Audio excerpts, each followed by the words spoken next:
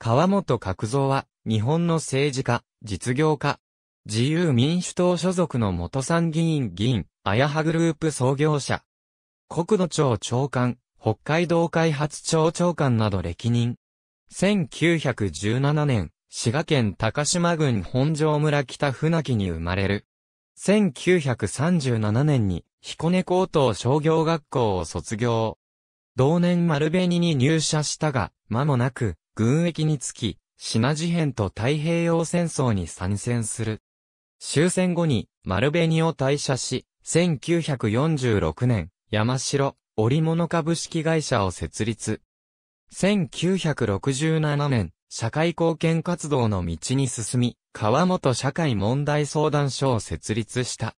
1971年に第9回参議院議員通常選挙に滋賀県選挙区から出馬し初当選する。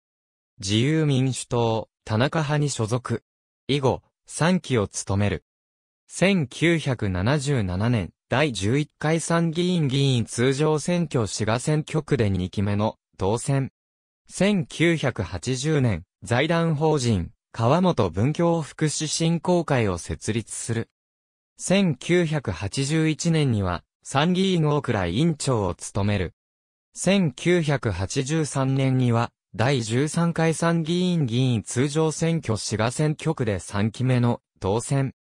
1984年、第2次中曽根内閣第1次改造内閣では、国土庁長官、北海道開発庁長官を歴任した。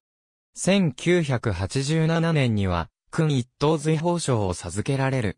参議院土地問題等に関する特別委員長に任じられる。